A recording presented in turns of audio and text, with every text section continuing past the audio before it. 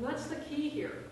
We need these archetypes because they inspire us and they empower us. That is a natural condition of the human psyche. So guys love to go to the movie theater and see the action thriller movies, and they love to see the superheroes, these glorious archetypes upon the film with whom they can identify for a brief period, for two hours in the dark. It's a sacred ritual. The same goes for these goddess archetypes. We want to be able to identify with them as well for a few hours in the dark. That's a sacred ritual, but we don't see as many of them on the screen, and what we tend to get on the screen is predominantly sexualized objects in Western culture, very different from the paragraph that we just read from Rolling Stone. So we need goddesses of wisdom and truth and justice and creativity and music and art and song and counsel and birth and death and motherhood and childhood and all these various archetypes to empower us. So for example, if we go back to Greco-Roman mythology, who are the goddesses? They are Athena the goddess of wisdom. Artemis is also known as Diana, the goddess of the hunt.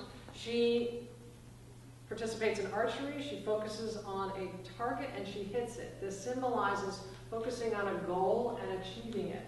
This can help to inspire us as women as and as men because we have a female anima within and all women also have a male animus within. So gods can inspire women to action and goddesses can inspire men to action. And they do, right? So we women are inspired by a superhero, and men can just as easily be inspired by a superhero win. So in addition, we have Demeter, who is the mother archetype. Maybe that would inspire the mothers in here in the classroom. Something to emulate, something that represents our own psyche. So what is it? Do, do these goddesses exist? Do these gods exist? None of us really know. But these are, these are examples of the mystery. And the archetypes exist because they represent or they reflect aspects of our own psyches. They represent behavioral patterns in the human being. It's not that Artemis necessarily exists any out, anywhere out there. Actually, she exists in here.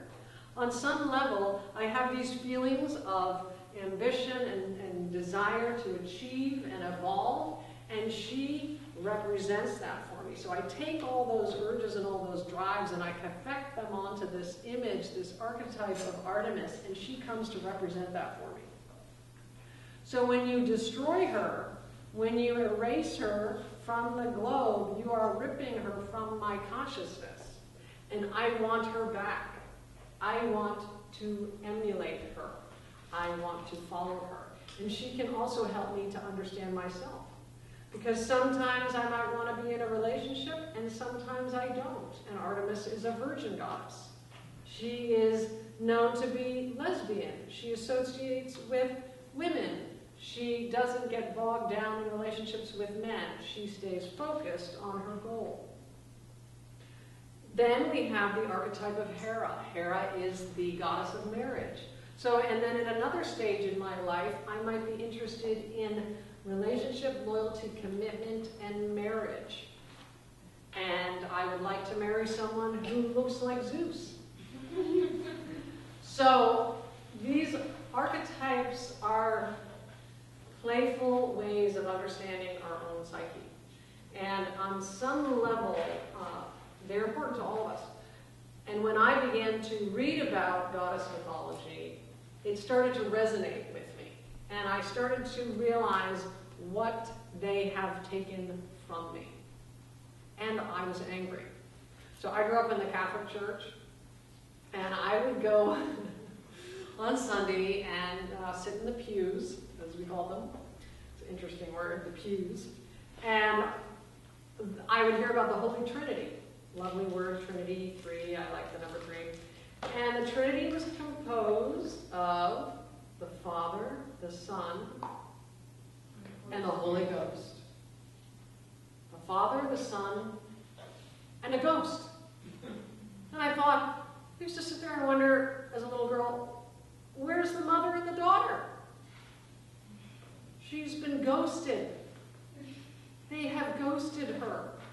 And how strange, because actually the father, the son, and the daughter, and the mother all come from the mother. But she's nowhere to be found. Oh, there's a Virgin Mary, right, I forgot. But she's a virgin.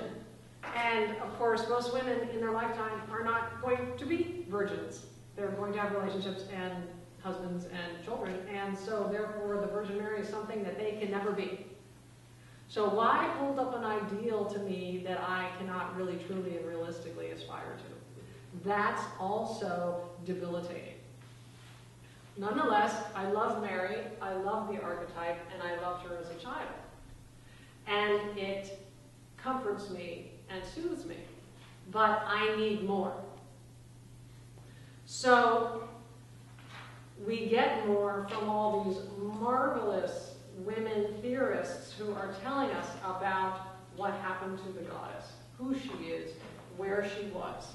And to give you a little bit of historical background now, we're going to look at the board, turn to the board, board for a moment, and we learn that uh, scholars such as Adrienne Rich tell us in Of Woman Born, Riane Eisler tells us in The Chalice and the Blade, Merlin Stone tells us in When God Was a Woman. Marija Gimbutas tells us in her work. She was a professor at UCLA.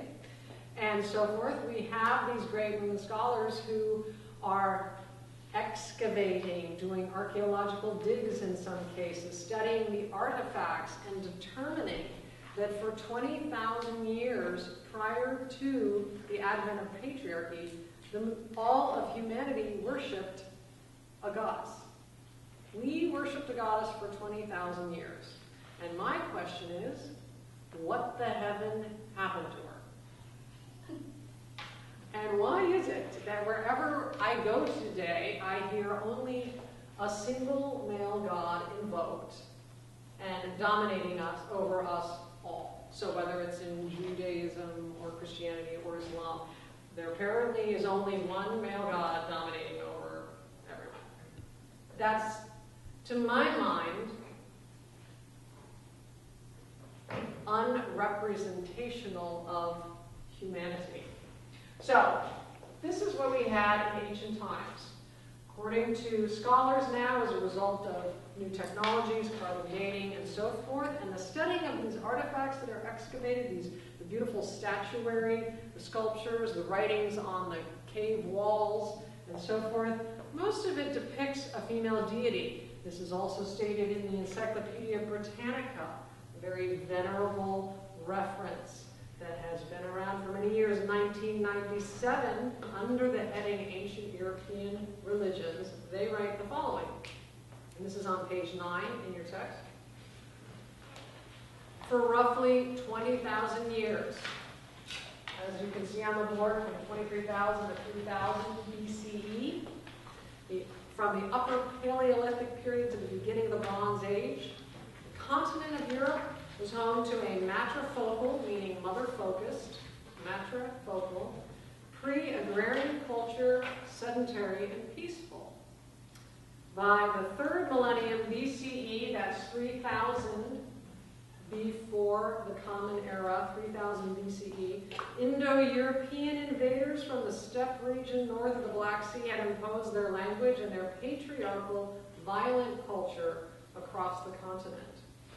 So the patriarchal, violent culture begins to wipe out the matriarchal, peaceful culture. This patriarchal violent culture also is God worshiping, and the matriarchal cultures are goddess worshiping, and they actually worship a multiplicity of goddesses and gods. They're also egalitarian. They even worship animal deities. They're very egalitarian. So, according to archaeological evidence, the old Europeans worshipped a goddess. There is no consensus of interpretation among scholars regarding the iconography of the goddess, Yet her absolute predominance over male representations is unmistakable. Pretty interesting stuff.